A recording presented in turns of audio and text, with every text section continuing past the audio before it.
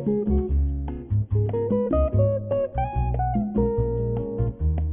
wear the sarong in a different style, we call it the bandeau style because it's coming in from behind, under the arms, and it's going back around the bust.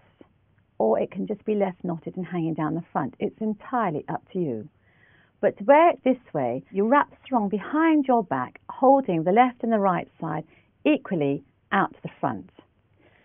If you're using a cotton sarong, you'll need the coconut buckle. It's got two holes and you feed each end of the sarong through the hole. You pull the buckle towards your bust quite firmly and tightly so you can feel it secure.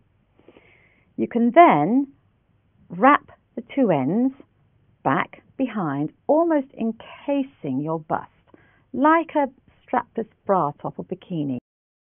To wear the sarong as a skirt, you then just drop it down to your hips or your waist, wherever you're comfortable, and with the two bits that are hanging down the front, you can leave them hanging in the front if you like, or you can gather them up, take them to the left and the right, wrap them behind as far as they'll go behind your hips to the centre of your back, or just behind your hips if you're broader, fold it in under the bit at the back of your waist, and again the buckle will hold it securely, and that makes a beautiful skirt.